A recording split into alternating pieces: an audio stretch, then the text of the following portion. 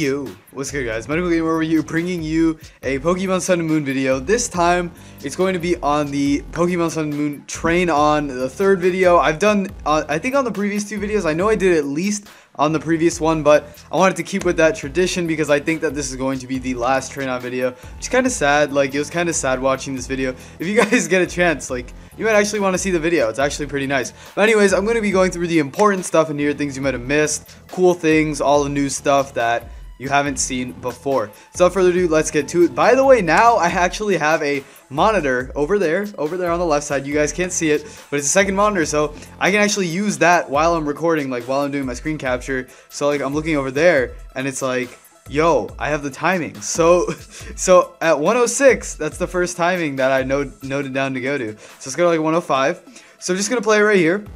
So over here, as you can see, you find an Alolan Vulpix. Nothing, nothing really new there. But over here, I, okay, right here. Okay, I just want to take you guys through this. So, if, as you guys can see, this is the Alolan Pokédex. So, number 17 is Caterpie. So, that means you have, of course, three of them, uh, nine of them is going are going to be the starters, and then you have guys after that. So I'm just gonna show like the beginning of the Alola Pokédex because although we do have all the leaked Pokemon in the game, it does not actually specify the order that they appear in the game. It specifies the order in terms of um, like national dex entry. But now for the Alola Dex, you can see Caterpie line is first, and then we have Ledyba line, and then it kind of skips over here to the Sudowoodo line, the Chansey line, then you have Munchlax and Snorlax, you have the Slowpoke line, you have the uh, Wingull Pelipper, you have Abracadabra, Alakazam, all that magic. And then you have the Alolan Meowth, Alolan Persian, and then there was the Magnemite after that. So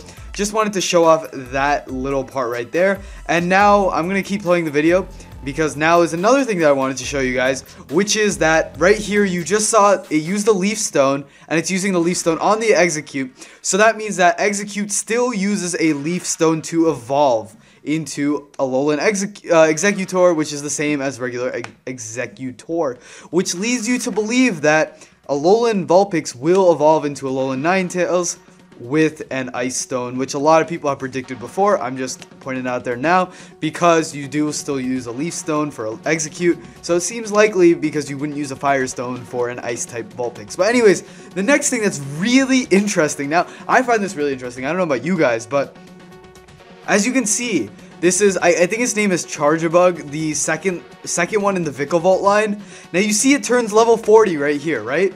And only now it evolves. That is insane in the membrane that a bug Pokemon, one of the first bug Pokemon you get in the game. Because watch, look, it is number 27 and number 28. Or I guess number 27, 28, and 29. That is crazy that the bug Pokemon evolves at level 40.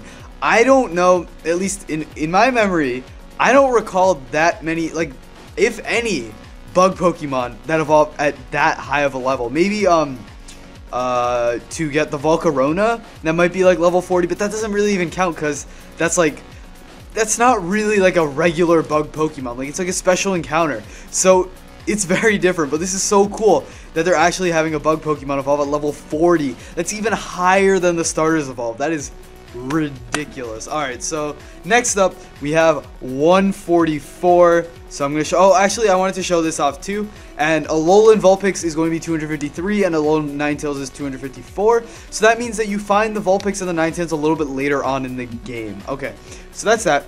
Now let's go to over here, where they're just doing some battles. So you get that Ice Beam, and here, Breakneck Blitz. Now, this is what I wanted to show. This is the normal type Z move. We have seen it before, but now it actually has an English name to it. You can see it literally just flattens Tapu Koko, and that is the end of that. So, next up, we have at the three minute mark. So, let's go there. So, around here, they're basically fighting a bunch of guys to get their base back. You know, it's so epic. You guys should actually watch this video. It's really, really nice. So he uses Z move. And right here, you guys are going to see the rock Z move for the first time. Minior is using it.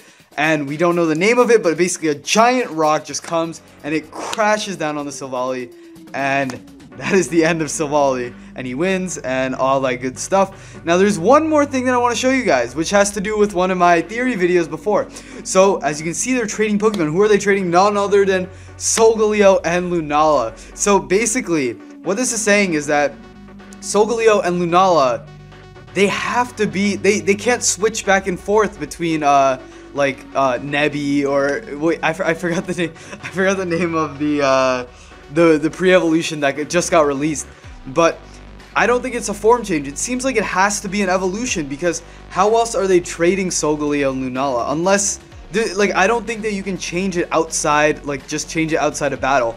I think that like it's in its dormant form you use that flute or whatever, and then it becomes Solgaleo or it becomes Lunala permanently, and that's that. And you can see they're trading Solgaleo and Lunala, so I don't think it readily switches forms. I think that you switch it once, and then that's it. You're done. You can't go back to the pre-evolution. So it is basically an evolution, if you think about it, because you can't revert back to your old state. A form change indicates that you would be allowed to revert back into a different form. But this doesn't seem to be the case. So that's just my little two cents on this matter. But I hope you guys enjoyed the video. If you did, please hit that thumbs up down below. Subscribe, follow me on Twitter, all that good stuff. Leave a comment about what you guys think about this. I know that this video came out, I think, at the very beginning of yesterday. But I wanted to get this video out for you guys um, just because I did all the other train on videos. So I decided to continue with it. But that's about it for now. I'm going to get out of here. Peace.